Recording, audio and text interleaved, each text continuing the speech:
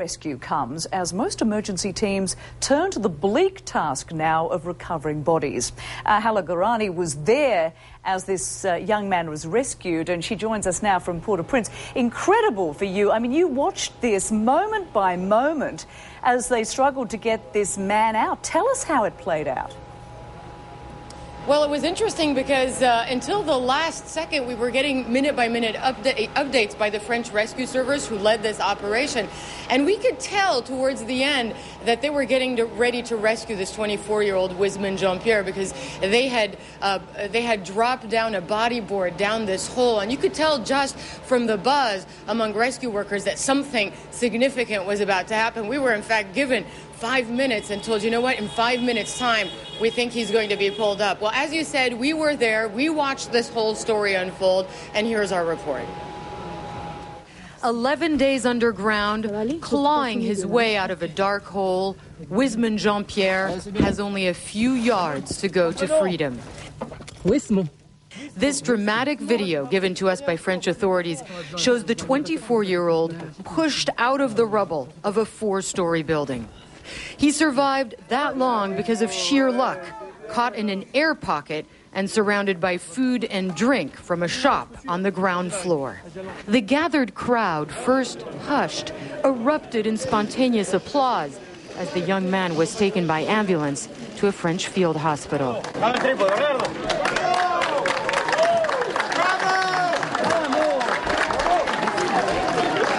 because we have uh, worked hard uh, together, all uh, all the staff, and uh, and we, we, we are um, very happy. It's very emotional. Yeah. A rescue that would probably have never happened had it not been for the dogged determination of Wiseman's family. Wiseman's brother, Jean Elie, told me, I spoke to him. I called his name. I knew he was alive. He said he tried to get officials' attention for days, but it took the help of a Greek journalist to mobilize the massive rescue effort. Another family member on the scene worriedly showed me a picture of Wiseman.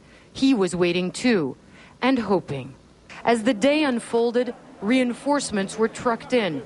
Ordinary Haitians pitched in to help, and rescuers worked for hours under a flimsy tin roof and deep into the ground to save the young man's life. At the hospital later, Wiseman was well enough to speak to CNN. He moved his arms and legs because he was not crushed by the falling building. Now he needs hydration and rest.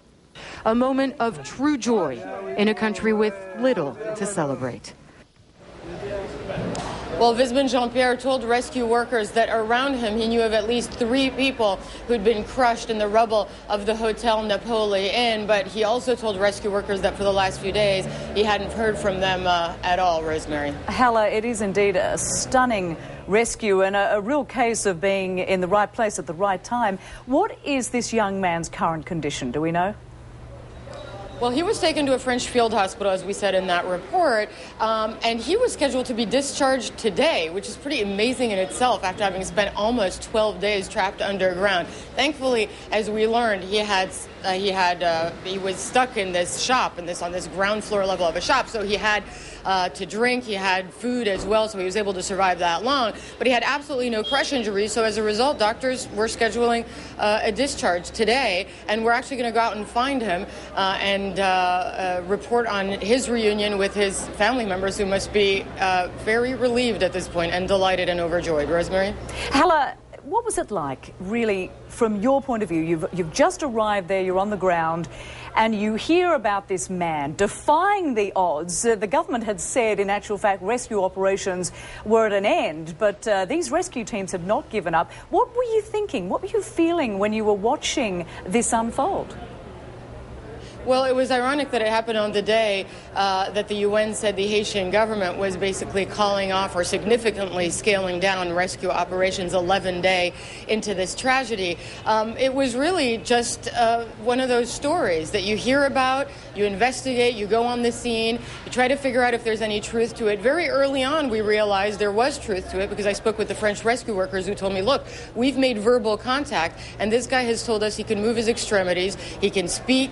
Uh, he can see our light. So we knew very early on that something significant was about to happen, as unlikely as it was. Uh, and we started looking into, you know, what the record was for someone surviving this long after an earthquake under the rubble. Um, and it was 14 days, and we were 11 days in. And I think the fear among people observing uh, this whole story and watching this whole story unfold was that, um, you know, he might be pulled out and then have some severe medical problem. But when he was eventually pulled out, uh, Rosemary, he was actually smiling, moving, you know, and then we saw him in the hospital a few hours later, and, and he seemed to be doing okay with no apparent physical injury on his body. Just an incredible man continuing to defy the odds if he's going to be released from hospital. Our Hala Gorani on the ground there in Port-au-Prince. Thanks so much.